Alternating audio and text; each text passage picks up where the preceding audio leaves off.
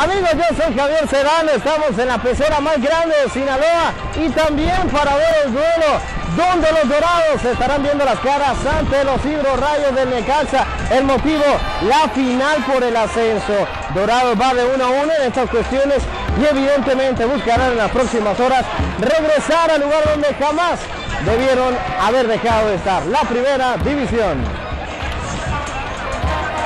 Todo apuntaba para ser un día de fiesta en Culiacán. Dorados encaraba la ida de la final de ascenso en casa ante los hidrorrayos del Necaxa, quienes había vencido de manera sencilla en semifinales. Pues hacía falta en la tribuna apoyando a los de casa estaban superhéroes de la talla de Capitán América, Iron Man, Rey Misterio, entre otros. Los ídolos de verdad, los que en la cancha han demostrado su valía y han regresado la fiebre futbolera Culiacán, comandados por el capitán Alfredo Frausto, salían a la cancha.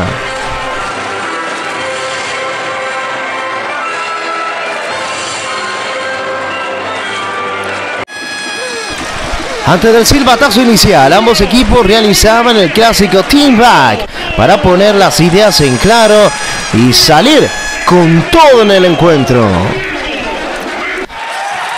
Por la vía del autogol a centro de Jesús La Pulga Gómez, Dorado se puso adelante en el marcador e hizo reventar el Estadio Banorte a grito de gol.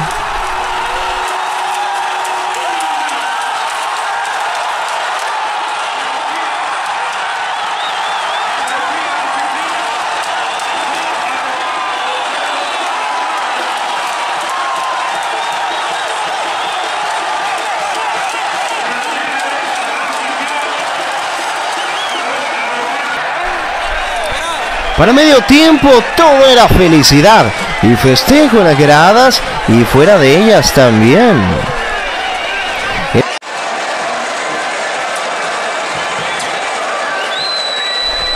Sin embargo, las malas noticias llegaron al segundo tiempo con anotación del hondureño Roger Rojas, quien con un golazo por parte de Necaxa empató el duelo.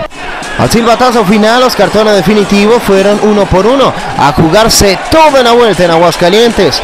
Lo que parecía un sábado de fiesta terminó siendo un día con sabor amargo y de mucha, mucha incertidumbre.